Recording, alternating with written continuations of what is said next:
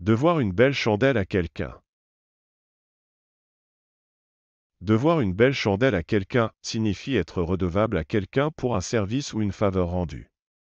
Par exemple, si un ami vous prête de l'argent pour vous aider à payer une facture et que vous êtes dans l'incapacité de le rembourser immédiatement, vous pouvez dire que vous lui devez une belle chandelle.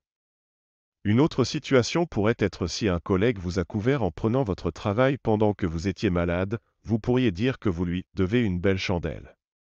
Cette expression signifie donc qu'on est reconnaissant envers quelqu'un pour ce qu'il a fait pour nous et qu'on doit le remercier ou lui rendre l'appareil à l'avenir.